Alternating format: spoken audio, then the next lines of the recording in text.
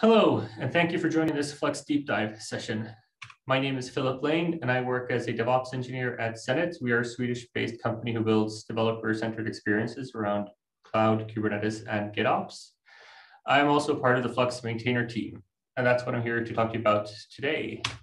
So what is Flux? Well, Flux is a tool for keeping Kubernetes clusters in sync with sources of configuration.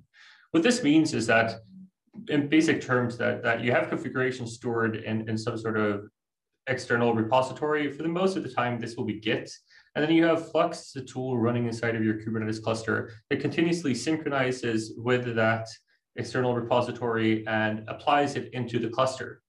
This has the benefits partially due to auditability when it comes to Git, because you have a history of changes that you can see who made changes to what configuration, but also an observability uh, perspective where it is very easy to look inside the Git repository and see what is actually being applied inside of the cluster.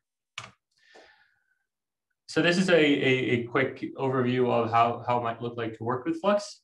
So uh, in one end, you have your deployment manifest that you are going to commit to a Git repository. On the other end of this, you have Flux. Flux is pulling the Git repository, constantly looking for changes. If a change is detected here, it will apply it to the cluster. So as you can see here, you have your deployment manifest on one end, and then your deployment on the other. Um, this also works in the sense that if somebody were to go in and delete this uh, deployment in the cluster, Flux will eventually detect the drift between what is wanted or expected and what is actually there in cluster and reapply the deployment. You have the possibility of really doing this as simple or as complex as possible. In this example here, it's very simple, but you can make you can scale this out to run across multiple teams and, and have uh, different types of functionality and automation, but there isn't really any requirement to do so. So that's kind of the beauty of Flux is that it, it works for smaller teams, but it also works for large enterprises at the same time. And quickly, before we get started, I just want to go through a quick timeline of Flux and Flagger. Uh, so currently Flux is an incubation project. Uh, it has 14 maintainers at five companies, uh, but it, it started, it, has been around for a while now. So in 2016, it started development at Weaveworks. Uh, since then, we've had uh, the Flagger project join as a sub-project. For those that don't know, Flagger is a progressive delivery operator that works really well with Flux. Uh, if you're looking for a project to get involved in, I really recommend getting involved in the, in the Flux project. It's it's really fun, and we're, we're always looking for, for contributors, and uh, we're happy when we see new contributors join the project. Quickly then about my journey into becoming a maintainer about uh, in Flux. So in 2018, I was working uh, as a software developer, building microservices that were deployed on a cluster orchestrator which was not Kubernetes. Um, I was kind of looking around, looking at what other oper- like cluster orchestrators were out there, uh, and I stumbled upon a blog post about somebody building a, a Raspberry Pi based Kubernetes cluster. I found it kind of interesting I wanted just to find a, a hobby project, so I started building one of my own. Um, somewhere after that, I realized that I wanted to have continuous delivery uh, to my new cluster. But I realized that the only way currently it was possible was to expose the Kube API server to the public internet. And I wasn't really ready to do that, mostly because it required me to open up a port in my, my home router. Uh, so I was looking around and, I, am kind of ashamed of admitting this, but uh, the only reason that I, I, found Flux was because it was a continuous delivery tool that didn't require you or didn't require an external resource to have access to your cluster. Um, so as Flux works by pulling an external Git repository worked really well with having a small cluster that could not get public IPs. Moving forward to around, well, now uh, my cluster does have the ability to get public IPs, but it still runs Flux because Flux is a great project. And I think somewhere along, along the line there, I realized how uh, what a novel idea Flux was. Uh, so I started getting involved in the project. I was using it as, at work, and uh, eventually, around when, when Flux v2 uh, started picking up steam, is when when I got more and more involved and and became a maintainer. Uh, so, so once again, if, if you are interested in getting involved in an open source project, I, I think Flux is a, is a great project to, to get started in. So at Xenit, we develop and operate a multi-tenant Kubernetes uh, solution that obviously uses uh, Flux. Um, in our solution, each tenant usually represents a team or a product. Uh, when it's a product, it's usually because the teams are working on around a, a central product together. Uh, and tenants can raise uh, can rise uh, range anywhere in size between a couple of applications to 50 plus. Uh, we are heavy Azure users. So as you can see, we have an AKS cluster and a couple of resource groups. So each tenant is, is confined by default to their own namespace within a Kubernetes cluster. Um, and it's linked together to an Azure resource group. So this brings the challenge of how do we expose these uh, namespaces or tenants to our end developers in a safe and secure way, which has a, a reasonable maintainability um, in the long run when it comes to maintaining the clusters. Um, before I joined uh, Xenit, uh, we were not using Flux there. Uh, and I think this is a typical uh, deployment method that most uh, companies have been using for a while now with Kubernetes and well, before Kubernetes. Uh, so development teams were maintaining their own CD pipelines they would have multiple applications that would have each have a, a, continuous delivery pipeline that was pushing in, or that was first of all building the image and then pushing that image uh, to a uh, central registry. And then it was running some sort of kubectl apply or helm install upgrade uh, command towards the cluster. Uh, this resulted in applications having their manifests and source code tightly coupled as each application would basically have their own unique manifest.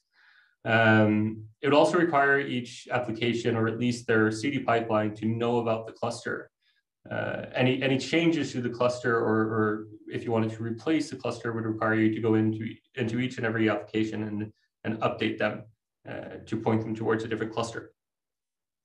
Um, and any small manifest change would, well, first of all, require you to rebuild the whole image as adding custom logic to detect manifest changes and skipping the build was uh, complex and it depended on if, if the teams were willing to build that type of logic. Uh, but also it would require you to trigger all of the applications. So for example, we all know that API versions sometimes get deprecated. Uh, in a situation where we were using an old API version and we needed to upgrade the Kubernetes cluster, and we need to make sure that each development team was upgrading their manifest, that would require somebody to go into 60 applications and manually uh, update or retrigger that application to deploy a new Helm chart to the cluster. So you end up building new automation tools around automation just to manage manifests. And this is around the time that I came in and tried to bring some of my experiences that I've had in the past around Flux. So my idea was that Flux would solve a lot of the bigger issues that we're seeing with development teams, um, mostly around trying to keep what developers already knew and worked, but replace things that were still new for, for certain developers, but could simplify their lives and our lives also. Um, so after implementing Flux, one of the main benefits that we're getting is we're getting a unified entry point towards Kubernetes. Um, as it is a pull-based deployment method, we don't have to export any uh, service account tokens outside of the cluster. We don't have to configure individual deployment pipelines to tell it which cluster to look at. So this opens up opportunities of running, for example, blue-green deployments of clusters. Uh, it, it, it, simplifies observability of what is being deployed. Uh, so this means that we can run automated automated scanning tools to look at our uh, the developers manifests to help them be better at, their jobs. Uh, and changes to manifests uh, are, are easy and fast. So when we, if we, for example, come up with a new recommendation or we want to run new API versions, being able to just go into a single repository or a couple of repositories is, is way much easier or and way much better than just having to do that for, for 50 or so. So one of the cool things with Flux is that you can run it in a multi-tenancy solution. What this means is that you can configure a single Git repository to only have access to a namespace. Uh, in this case, a tenant would have one Git repository and one namespace, and these would be linked together with Flux. So anything that you place into this Git repository would then be synchronized into that namespace. Uh, this allows for a good separation between teams where they can cooperate through opening up their namespaces with network policies, but only a specific team would have access to their own namespace. Um, because this configuration is all based on YAML, it becomes very easy to automate. So you can configure Flux in, in multiple ways. So one of them is by using the Flux CLI. Another one is using the Terraform provider, which helps you bootstrap the cluster with Terraform. Uh, and the last one is writing manifests on your own. Um, we can quickly demo onboarding a new tenant by jumping into this Terraform here. So this, is, this Terraform sets up a single AKS cluster that has three environments and it's a dev, a QA, and a production environment. If we comment out this, we're going to set up a new tenant called tenant B. Uh, we point out the Git repository that it's supposed to synchronize from. And we first run a plan. While this plan is running, we can look at uh, the fleet infra repo. So for Flux, the fleet infra repository is the main repository that is initially synced from by Flux. In here, we have a tenant directory, and right now we have our tenant A configured.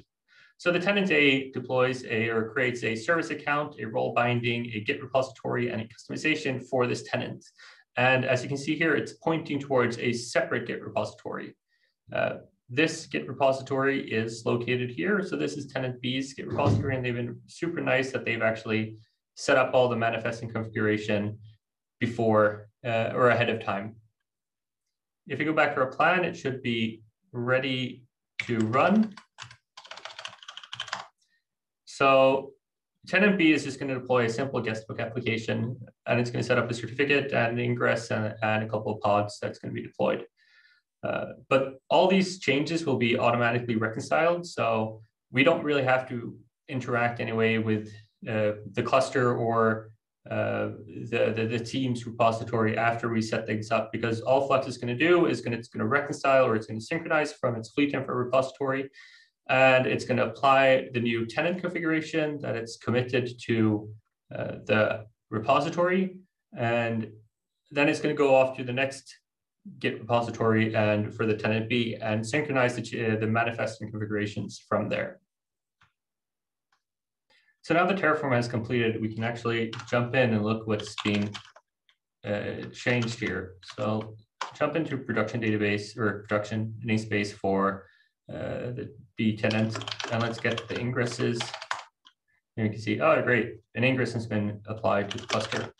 We can get pods, and we can see that we have our guestbook application running with Redis. If we jump and get the DNS name, we're now seeing the guestbook application running here. So what has actually happened? Well, if we go to our fleet infra repository and we refresh the page, we can see there's a new dev b YAML file that's been applied by Terraform. Uh, this creates the new tenant configuration with new role bindings to a different namespace and a new Git repository. And then from there on, Fleet Infra uh, repo kind of loses responsibility over what else is created here. So then Flux is going to reconcile this Git repository and look at the B tenants repository. And here we see, and for example, production that we have created an ingress resource uh, for guestbook, a certificate, and we have our base here, and the base is deploying our guestbook application. So all this is basically automatically reconciled. So from, from the tenant's perspective, they have their own entry point into the cluster that is configured by the cluster administrator. successfully introduce Flux, it requires buy-in from all participants. Uh, initially, Flux can seem a bit foreign in the way that it works to some people, and it's mostly because it, it strays away initially from the traditional CD promotion pipeline where you have a first deployment to a dev environment and then a QA and then a production, and there's like a logical pipeline of, of promotion. Um, in it, one of the earlier issues with Flux was that there was no feedback loop between a commit and uh, an actual successful deployment. Uh, today, Flux has a, a, component called a notification controller. Uh, what it can do is that it can link together uh, the reconciliation events from a specific commit to feedback the actual status of that deployment. So in this image to the left here, we have a Git history of commits. And for each commit, you will have Flux will reconcile that commit, and then it will post the status of that commit back to your Git provider, if it's GitHub, GitLab, Azure DevOps, or Bitbucket.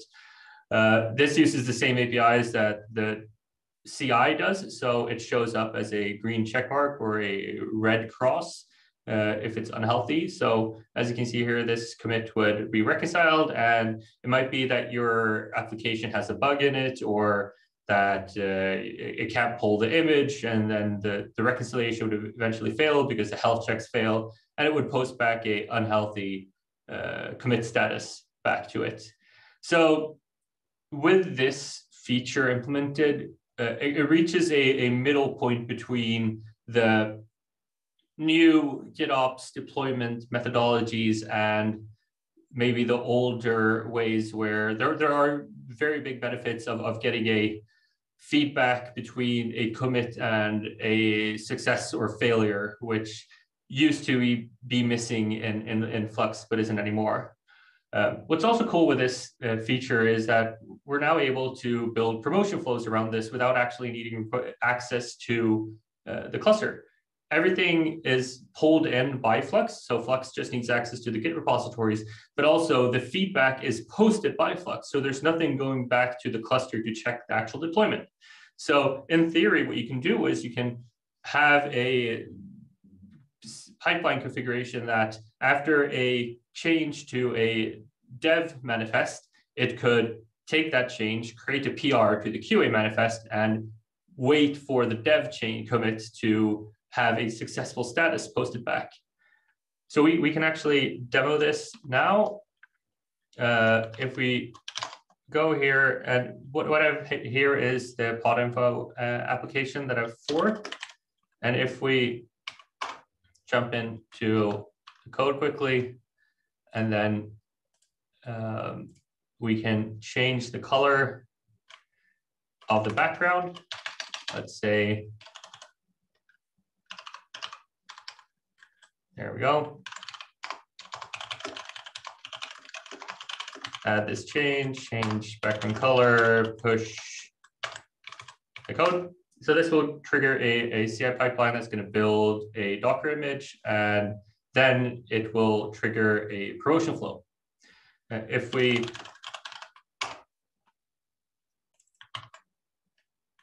get the ingress and we jump to our browser, so this is currently running the, the older PodInfo version.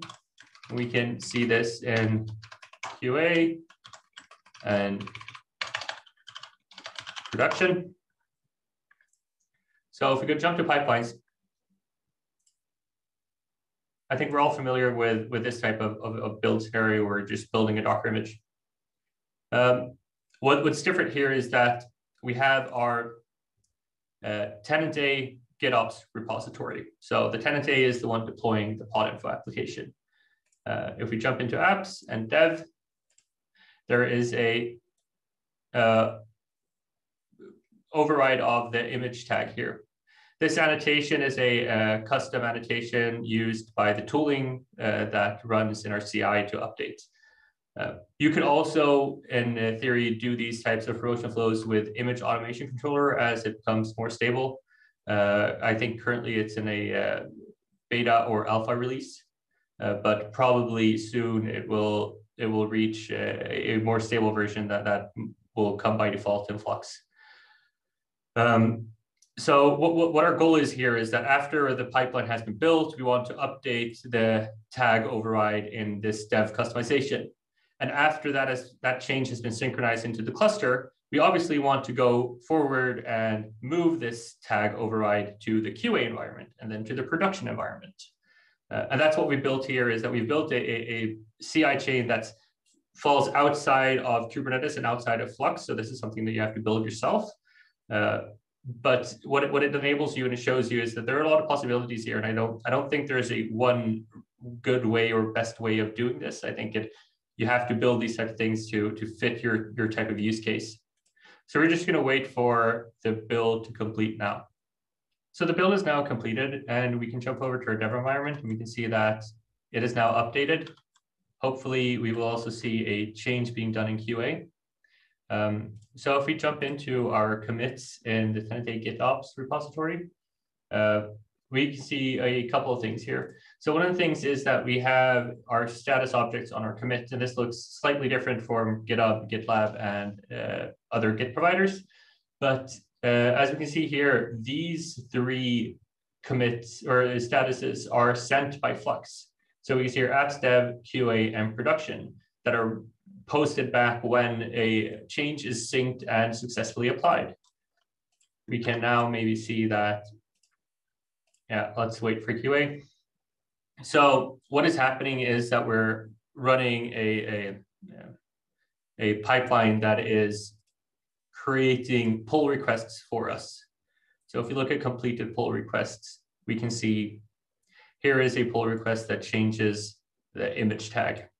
So after this pull request can be automatically uh, completed. If a status check passes, we can merge it and the change will then be applied to the cluster. Um, so this allows us to build a promotion flow outside of having access to the cluster itself. And here we can see also that QA has updated and maybe production will eventually update, too. And this is all done by, by our commit status feature.